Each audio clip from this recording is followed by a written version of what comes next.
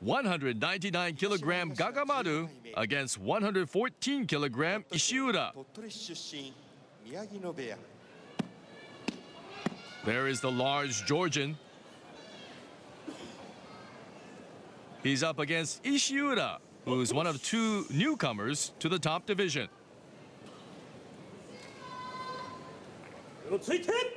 And 85 kilogram difference between these two but Ishiura makes that point moot as he gets a shitate nage underarm throw.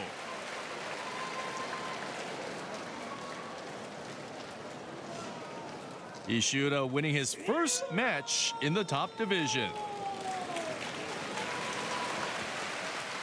Always a big moment for a rookie.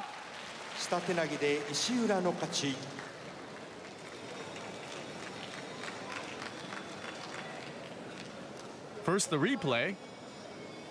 Ishiura doing a good job attacking from an angle, getting a left hand inside grip. Despite that 85 kilogram weight difference, and he throws down 199 kilogram Gagamaru.